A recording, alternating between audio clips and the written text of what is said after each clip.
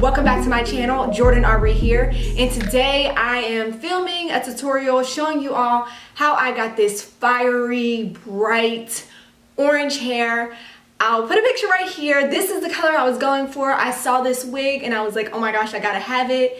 It's by Kai Karter. She no longer had the wig on her website when I wanted to go buy it. So I was like, okay, I'll get this cheap wig, which this is a very inexpensive wig. I paid, I think $95 for this wig from Ever Beauty. It was initially in the color 613 and I just dyed it blonde, um, not blonde, I dyed it orange.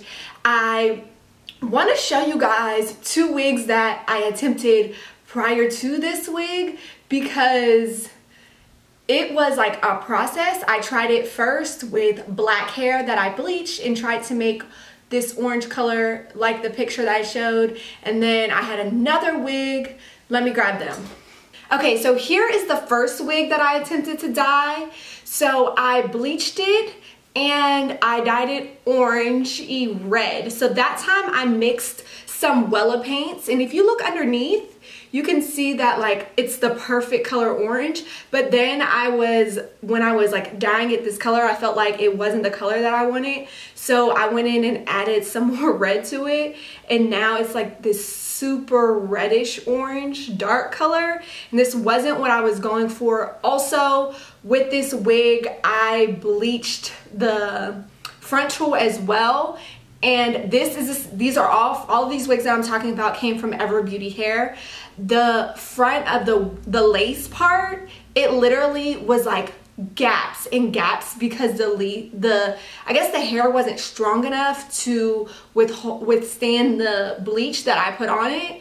And it just literally all broke off. There were so many gaps in the lace. It wasn't even anything that was salvageable but the back of the hair where it was weft because it is lace front it all is still strong and it still feels very nice. So I think that I may just buy another dark frontal from either Ever Beauty or another company. I'm not really sure yet. But I may do something with this wig in the future. But for now it's just sitting here. I cut off the front lace part and it's just kind of around my house for now. I haven't decided what I'm gonna do with it so then I attempted to do it another time and first of all, this wig, I, when I ordered this one, I ordered two. So I got this one, which I was gonna dye orange as I did, but I didn't get to finish it. I dyed it and it just came out way too light. Like I wanted it to be darker. Honestly, I like it to be more brown than it is now, but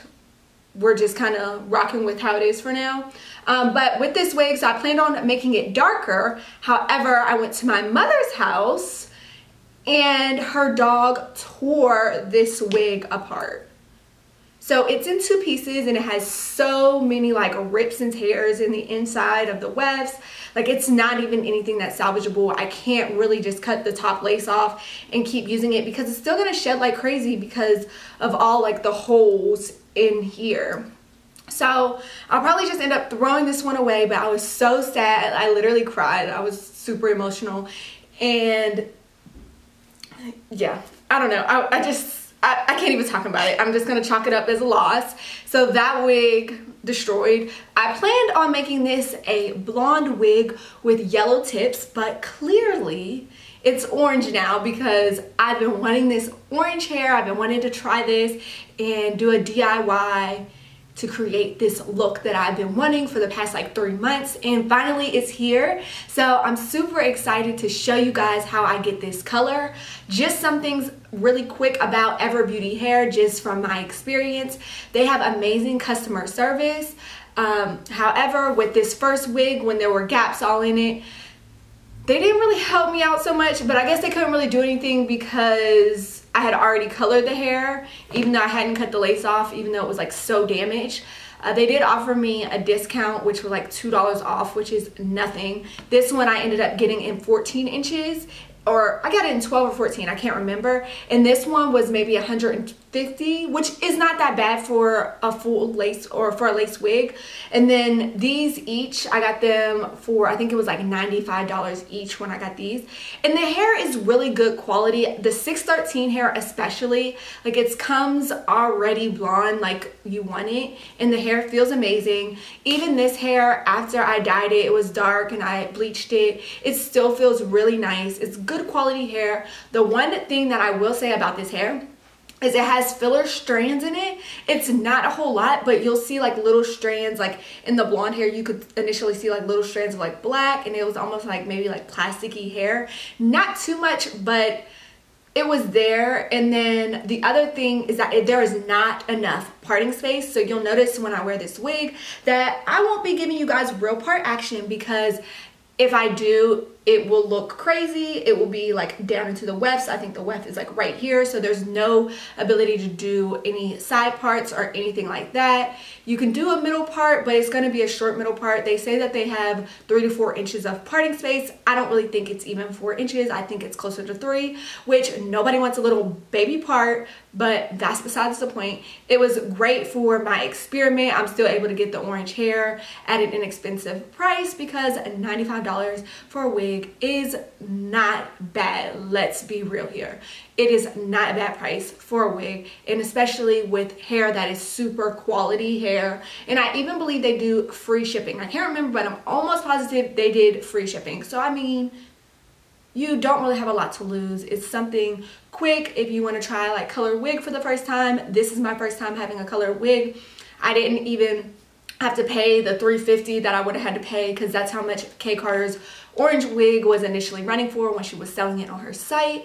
So I saved myself money. Actually, I didn't really save myself money, but kind of because I paid 150 for this one and then 95 for this one that was destroyed. So, I mean, I've lost $95 and then possibly lost another 150. I should have just went with the initial buy, but whatever. I learned a lot and now I still have my hair in the wig that I wanted. I really like it. I think I might add brown to it, but that's not what this video is about. I wanted to give you guys a quick review on Ever Beauty hair, and I want to show you guys how I dyed the hair this color. So let's get into the dyeing process really quickly, and I'll catch you guys at the end excuse me, um, quick service interruption. If you haven't already, can you please just go ahead and click subscribe to my channel? It will help me out so much. I appreciate you and I love you. Kiki, do you love me? Are you riding beside me? Cause I want you and I need you and I'm down for you always. We're gonna use two bottles of Adore Sunset Orange and a half of bottle of Adore French Cognac. So just go ahead and mix up those two colors. I could have probably used a little bit more of the French cognac just to get those true brown undertones that I was looking for. The hair is super bright. I may go back in and do some more with the French cognac just to give it more of those brown undertones. But if you like it super bright, then just go ahead and use all of the sunset orange. And I just went ahead and mixed it up in my hair dye bowl. And I'm using my brush to go ahead and evenly apply that that color all throughout my hair.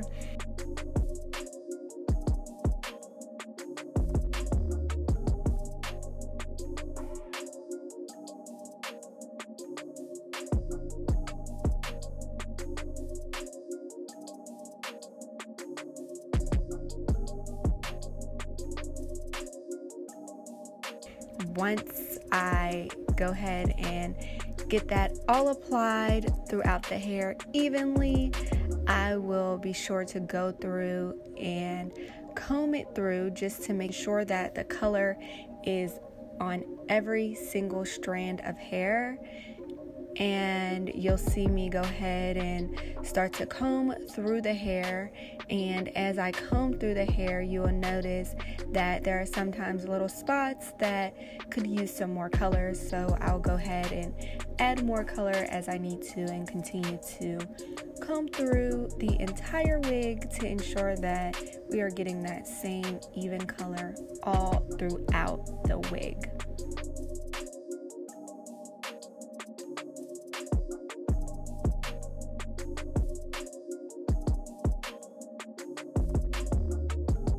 Now this last part is not extremely necessary, but I went ahead and put some heat on the hair. I put it in a plastic bag and stuck it in my hot head and I let it sit for about five minutes just to ensure that the color was gonna truly be there.